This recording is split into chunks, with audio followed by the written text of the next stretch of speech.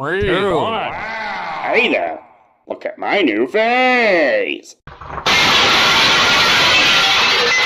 Why the fuck did you do it?